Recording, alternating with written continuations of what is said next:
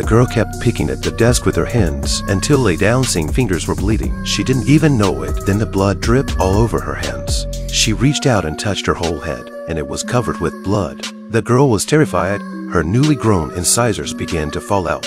Her arm was suddenly fractured. Her mouth also began to spit out a lot of black blood. Suddenly, a classmate tapped her. Lucy then woke up. It was just a nightmare. At lunchtime, she met the school security guard. The security guard found a row of black footprints behind her. The security guard told her the stain on the playground. It was left by the girl who flew down from the building, but no amount of washing would get it off, so everyone would avoid her. Lucy was instantly frightened. She tried to close her eyes to try to forget this terrible thing, but when she opened her eyes again, she found herself lying on top of the puddle. She couldn't move. She started to check the information at that time. It turns out that the girl was also a good student, but because of the scandal with the teacher, her classmates were pointing fingers at her, couldn't stand the pressure, and chose to jump off the building.